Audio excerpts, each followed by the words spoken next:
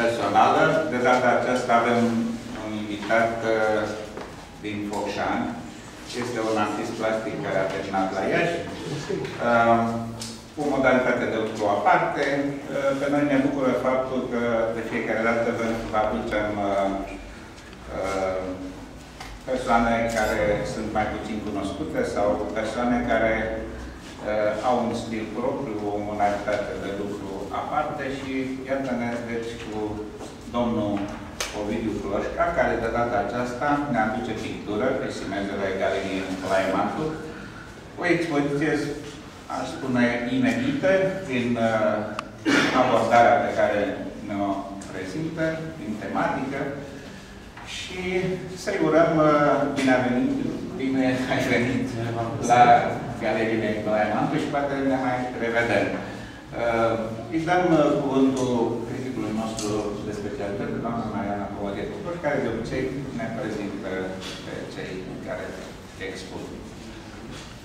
Pentru mine, ca artist, spune Ovidiu Cloșca, într-un citat pe care l-am luat de site-ul dumneavoastră, Natura statică este un pretext perfect pentru a genera un joc vibrant între ideea de perenitate și volatilitate a lumii pe care o percepem în jurul nostru și esența spiritului uman, conștient. Florile mele, ghilimele religioare, sunt expresia unei meta-realități subtile, unde privitorul este invitat la meditație, la exercițiul spiritului, în descoperirea acelei energii pe care cu toții o posedăm și care rezonează cu liniștea de la început. Mi s-au părut interesante, revelatoare aceste afirmații ale lui Ovidiu Cloșca când l-am descoperit uh, pe site-ul destul de complex pe care l-am. Interesante prin apelul la un gen tradițional al culturii pe care îl încarcă cu trăiri moderne. Câteva cuvinte despre evoluția lui Ovidiu Ploșca. În 2000 absolvă Universitatea Tehnică Gheorghe Asache din Iași, Facultatea Electronică și Tele Telecomunicații, iar în 2009 îmi face un masterat la Universitatea de Arte George Ionescu din Iași, Facultatea de Arte Frumoase, trăiește în Focșani. Fișa lui de activitate are o bogată, ne arată o bogată activitate cu numeroase manifestări, expoziții personale uh, și participări la expoziții de grup și colective din țară și străinătate. Sunt câteva elemente care ne concentrează atenția când urmărim lucrările lui în încercarea de a le înțelege. Primul ar fi o neobosită dorință de a experimenta tehnici, modalități plastice de abordare îndrăznețe, instalații, grafică, pictură, tehnici mixte.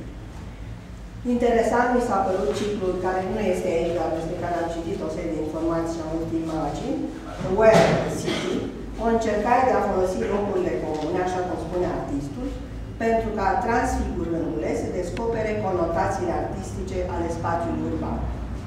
Pornind de la imagini fotografiate în acest ciclu și călcate în Photoshop, a realizat o expoziție personală deschisă cu ocazia manifestărilor dedicate 600 de ani de la atestarea Bacălor. Imaginile create de el, bazate pe imagini reale, tind să exprime deriva unei societăți, a spațiului urban afectat de comunism, dar și o privire critică la adresa actualității, desigur prin mijloace plastice.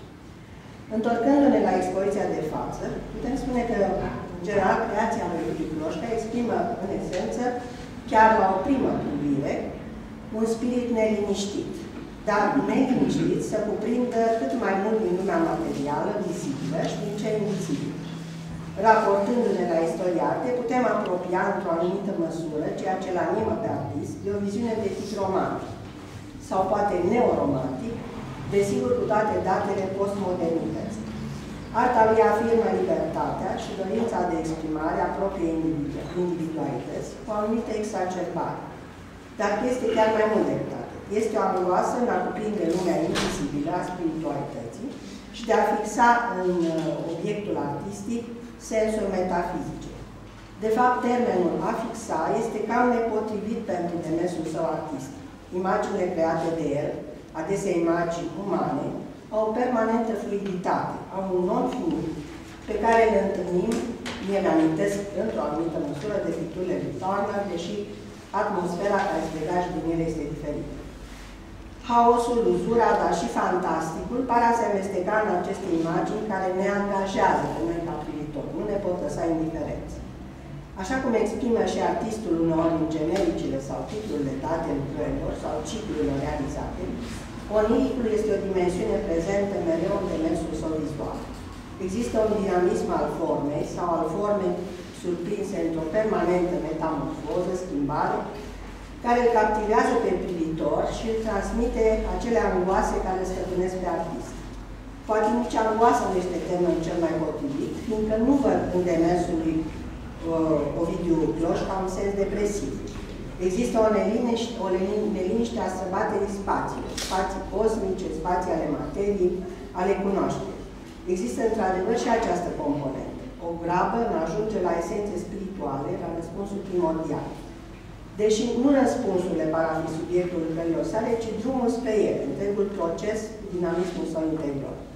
Cum îl realizează vizual? Cred că soluțiile oferite de el, o soluție din acest moment, fiindcă nu pare un artist care să se mulțumească cu o formulă dată pentru totdeauna. Deci aceste formule sunt destul de diverse, dar unitare din punct de vedere stilistic. În primul rând este vorba de diversitatea materialelor folosite și desigur mă refer la tot ce am văzut pe site, deci ceea ce depășește uh, expoziția de față. Apoi de o valorificare a materiei plastice. Ceea ce avem în fața noastră, informalul, jocul între abstract și figurativ, senzația de materie în descompunere sau în transformare continuă, jocul acesta de umbre și lumini sunt o adevărată explorare a materiei, a materiei picturale, sunt o afirmare a unui material. Însă, în mod paradoxal, prin modul de tratare, ea capătă o dimensiune spirituală. Și această visare permanentă între material și spiritual constituie dinamica internă a imaginii care ne captivează. Pensulația rapidă, gestualitatea care construiește forma și o deconstruiește, vibrația picturală a pastei și a luminii sau umbrei, toate are, au o vivacitate care solicită pe privitor și integrează procesului artistic la care avem senzația că suntem prezenți, că facem parte din el. Artistul încheagă forme umane, figuri pe care tot el le contestă. Le integrează într-un univers, într-o permanentă devenire, un univers misterios și plin de surprize. Îl felicită pe Camilul Cloșca pentru această expoziție și cred că a fost o bună idee să fie invitat la galeriile noastre să expună. Da, îl invităm pe autor să ne spună Vă mulțumesc din inimă că ați fost de acord să mă găzduiți aici în generoasa galerie pe care o aveți, cu toate că prima mea incursiune în Galați mi s-a părut uh, micuță și cochetă. Am avut surpriza să-mi dau seama că mai încă de la lucrări. Um, plecând de la ceea ce spunea doamna Mariana, într-adevăr, uh, zona de explorare nu să nu rămâne doar în zona picturii, picturii clasice de șevalet, ci chiar povesteam, uh, șevaletul folosesc doar la final.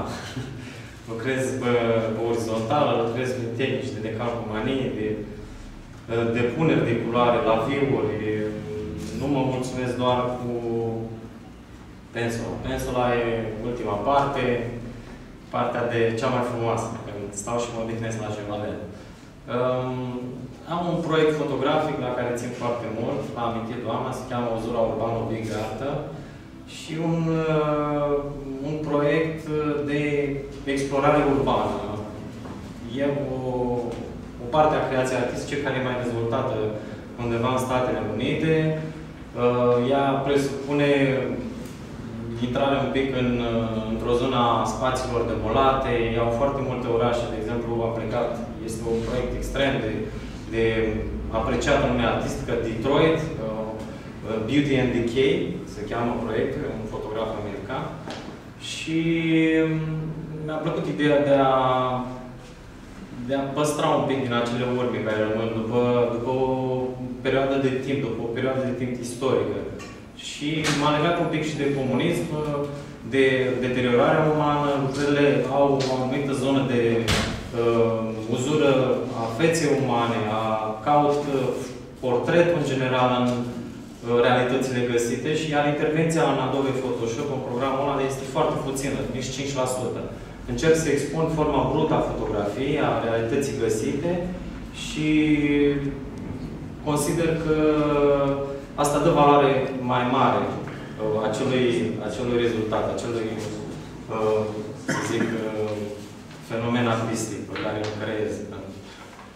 Mulțumesc uh, celor doi sponsori care m-au ajutat să vin aici. O să vă servesc după ce închei cu un vin uh, produs de Mosconi.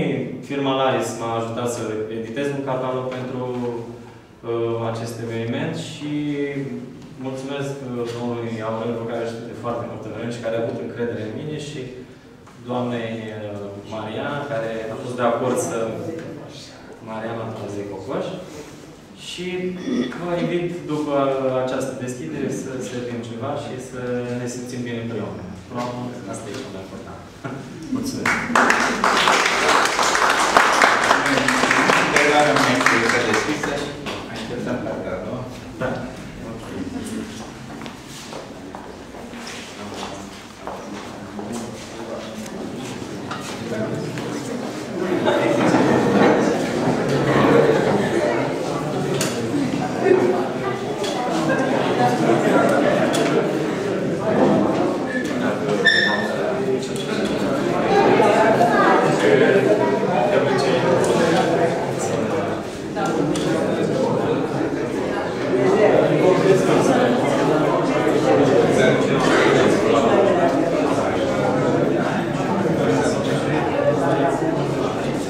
できるたです。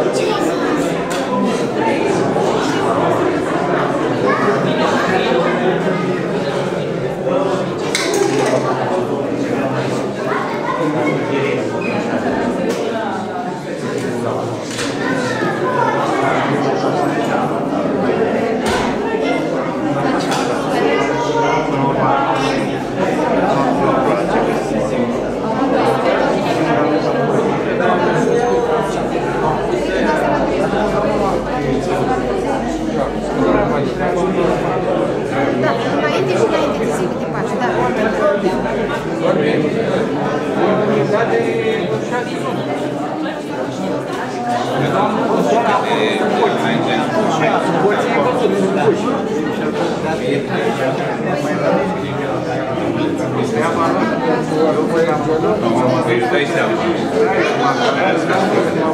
you.